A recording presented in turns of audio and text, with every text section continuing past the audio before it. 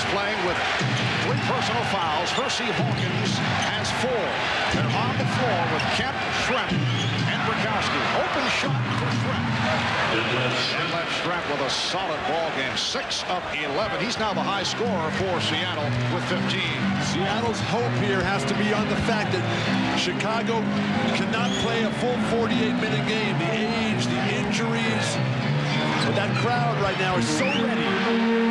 Harper way off. Dennis Rodman, who's been quiet the last two games, has certainly had an impact here tonight. Out. And here's Pippen leading the three-on-two as they spread the floor. Pippen for Rodman on the right. And it counts.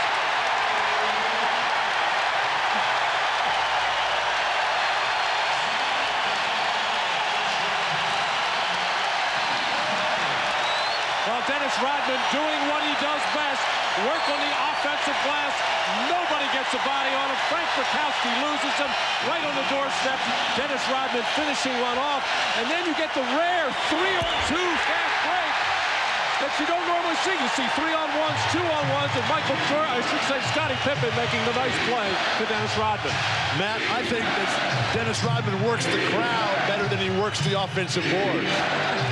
Well, he has the crowd going with nine points and 10 rebounds. At five.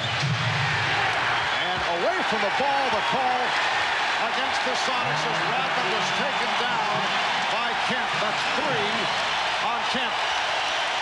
Rodman and Kemp away from the ball. Kemp, the frustration. That was not a flop. He threw him to the ground. Shawn, you cannot lose your poise here. That's Dennis Rodman trying to get into your head. You've been above that all series. Stay that way. And this is that little bit of a different tactic that the Sonics have not seen in the last few games, fronting the big man inside, and the Seattle not handling it very well at all. The Bulls have a 15-point lead.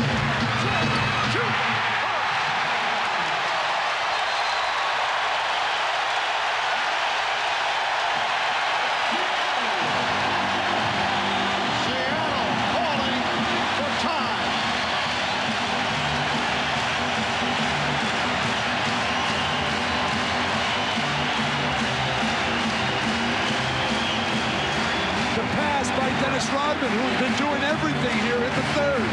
This has just become a clinic for Chicago at the basket. Michael Jordan so ecstatic.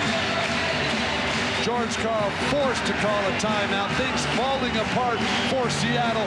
They're in desperate straits at this moment.